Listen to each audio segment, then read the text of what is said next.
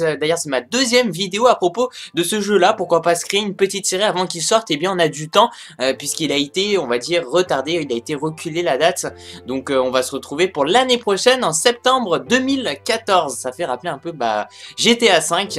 Euh, bref, donc on va commencer avec les informations à propos de tout ça. déjà, moi, en tout cas, j'ai pu voir dans les commentaires dans ma, dans ma dernière vidéo à propos de, des informations de ce jeu-là. Et eh bien que ça, que ça vous a plu.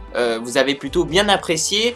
Et c'est vrai qu'on a, on retrouve, on retrouve des personnes qui continuent à dire euh, GTA 5, il sera mieux que Watch Dogs. Bon, l'esprit de concurrence, je pense, ne devrait pas être présent, euh, puisque c'est quand même un nouveau jeu, un nouveau développement, et il faut donner quand même une petite chance là-dessus. Alors, on va parler donc des nouvelles plateformes de jeux vidéo à propos de ce jeu-là. C'est vrai que ce jeu-là n'a pas énormément de caractéristiques pour l'instant. Pourquoi? Bah parce qu'il a été retardé, donc Ubisoft, eh bien, euh, ne vont pas forcément donner les toutes toutes dernières informations à propos du jeu. on va dire depuis depuis qu'ils ont dit qu'il va, voir, il va être déplacé, la date de sortie, elle va être déplacée, eh bien on n'a plus d'informations. Ça s'est arrêté net, donc je vais vous donner toutes les informations qu'on connaît. Et puis lorsqu'il y aura des nouvelles informations, eh bien je vous le dirai avec grand plaisir, eh bien les dernières informations, les toutes récentes, euh, tout ce qui est récent à, propos du jeu. Comme ça, vous allez tout savoir.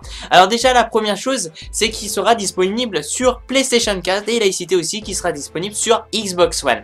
Euh, vu en fait que la date de sortie a été reculée euh, du jeu, eh bien